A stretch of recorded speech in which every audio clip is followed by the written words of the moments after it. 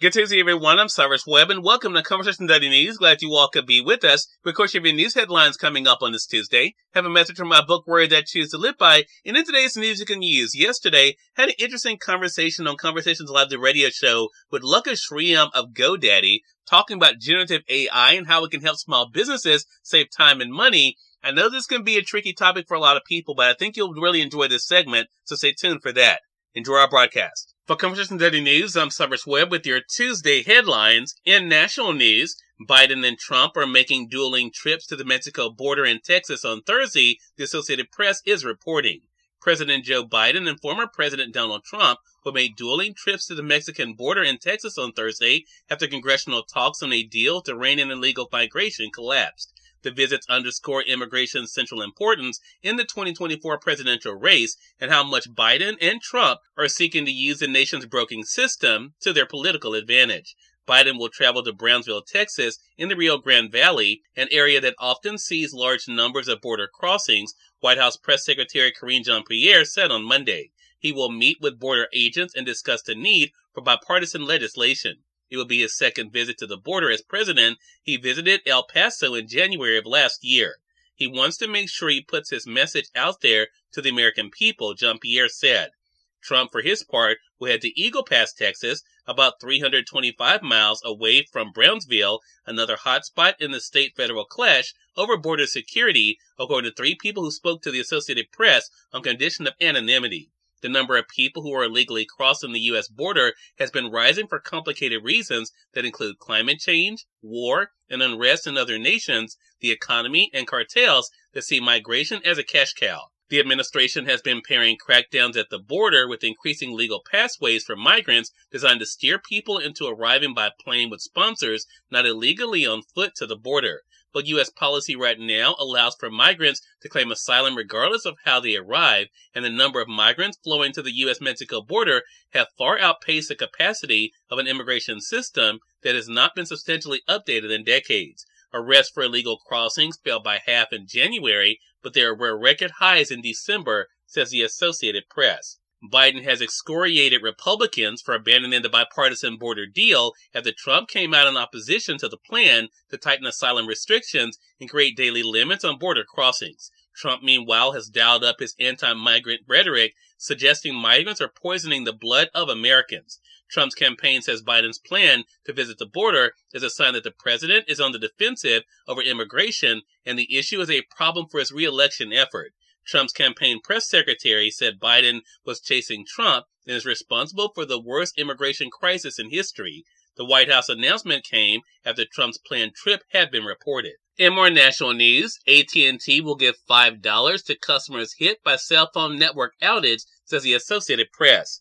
AT&T says it will give affected customers $5 each to compensate for last week's cell phone network outage that left many without service for hours. The Dallas-based company said on its website that customers will get the $5 credit on their account within two billing cycles. The credit does not apply to AT&T Business, Prepaid Service, or Cricket, its low-cost service providers. AT&T said prepaid customers will have options available to them if they were impacted, although it did not elaborate on what these options might be.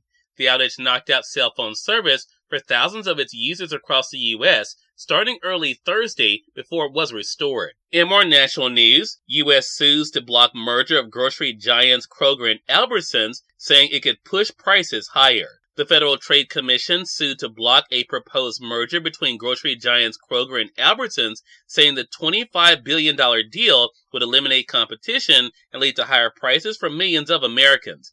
The FTC filed an administrative complaint against the companies on Monday, which will be considered by an administrative law judge at the agency. It also filed a lawsuit with the U.S. District Court in Oregon requesting a temporary injunction blocking the merger. That lawsuit was joined by the attorneys general of eight states and the District of Columbia. In more national news, Kenneth Mitchell, known for Star Trek and Captain Marvel roles, dies at age 49. Kenneth Mitchell, a Canadian actor known for his roles in the series Star Trek Discovery and the film Captain Marvel, has died. He had lived with a disorder called ALS, which causes paralysis and death for more than five years, according to a statement from Mr. Mitchell's family posted on his social media. In Captain Marvel, he played the father of the superhero Carol Danvers. He was also known for portraying Eric Green on the series Jericho, Joshua Dodd in the series Nancy Drew, a hockey player in the film Miracle, and appeared in several other films and television series. And finally, in entertainment news, Oppenheimer keeps devouring awards with top prize at Producers Guild, with Oscars up next as the Associated Press. With two weeks to go before the Oscars, Oppenheimer looks unstoppable. Director and producer Christopher Nolan's tale of the life of J. Robert Oppenheimer and the birth of the atomic age won the top prize Sunday at the 35th Producers Guild of American Awards, a frequent predictor of Oscar Best Picture winners, the night after doing the same at the Screen Actor Guild Awards. Cyrus Webb, Conversations Daily News. It's on time for a message from my book, Word That Choose to Live By. Enjoy. Good Tuesday, everyone, and welcome to Word That Choose to Live By. Failure is not an option. There is nothing shameful about stumbling on your journey in life. The only disgrace would be in not getting up, dusting yourself off, and continuing forward. The difficulty should only strengthen your resolve that there is something greater for you right around the corner, so let's get about getting to it. Have an amazing Tuesday. We are part of my conversation coming up with Luca Sriram of GoDaddy in today's news you can use. Stay with us, you're listening to Conversation Daily News. For Conversation Daily News, I'm Cyrus Webb with your news you can use. Look Luca Sriram of GoDaddy. Join me on Conversations Live, the radio show, to talk about how generative AI can help small businesses. It's a bit of our conversation. Luca, thank you again for the time. Really do appreciate it. Thank you, Cyrus. Thank you for having me. Well, look, this is an important conversation for us, Luca, because there's a lot of lot of dialogue out there right now about about AI, and of course, some people are excited about it and the possibilities. Others, though, not so much. So there is some reluctance. But what is generative AI? That may be a new term for our audience, and how can people use it in their day to day lives? Yeah, uh, generative AI is, is a relatively new and fast evolving technology that's capable of generating text, images, and other assets or data. It uses language models and AI in response to user in, user prompts, or which is like a simple input in the form of plain English. You're right. Uh, there are risks associated with it, especially at the beginning of the curve, which is probably like two years back. And with the rapid the way the technology has been evolving, the risks has been significantly going down, and the benefit and the advantage of actually using it has skyrocketed.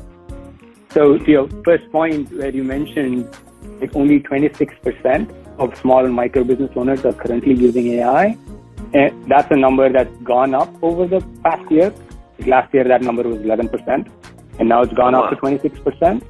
There is still a, a huge way to go up further.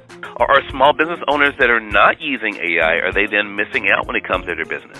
100%. I strongly believe that AI right now has evolved to a state where it, it can, it should be used as both a personal assistant or a business assistant in multiple aspects of, of a small business owner.